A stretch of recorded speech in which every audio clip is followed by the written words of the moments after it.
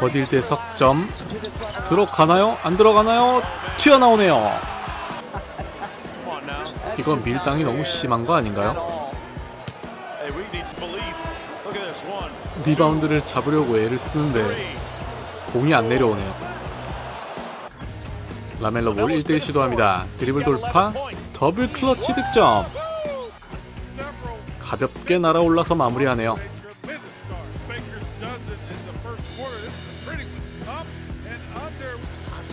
폴조지의 패스를 받은 주박의 in your face. 정말 좋은 2대2 플레이였습니다.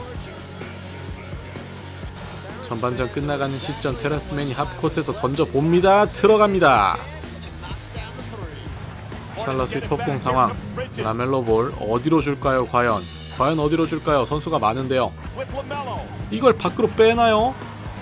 아 결국은 공격 실패입니다.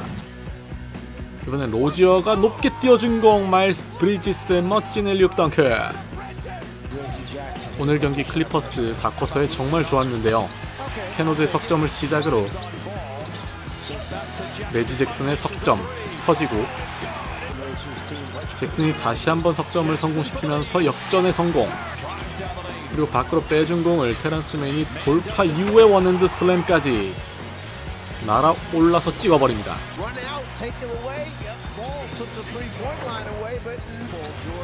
이번엔 에이스 파울 게오르그의 점퍼 득점. 폴조지 그대로 던져봅니다. 또 들어가네요. 결국 말벌 군단을 완전히 제압해버리는 클리퍼스. 콜 앤서니의 멋진 스케이트 드리블. jumper까지 성공하네요.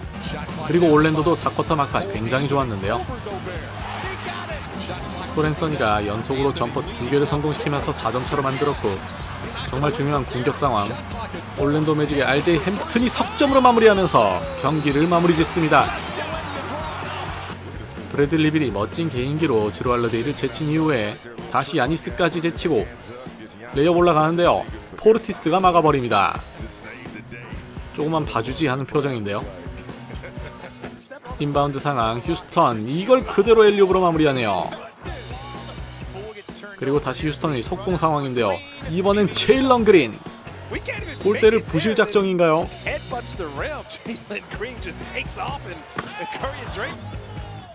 듀란트가 코너에 그리핀에게 제치고 들어갑니다. 이걸 레이업으로 마무리하는군요.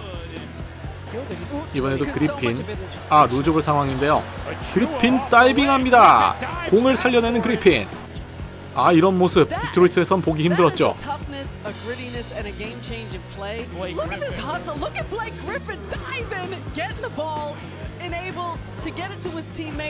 1쿼터 끝나가는 시점 버디 힐드 spin move 이후에 logo 3 들어갑니다. 정말 가볍게 석점을 성공시키는 버디 힐드였습니다.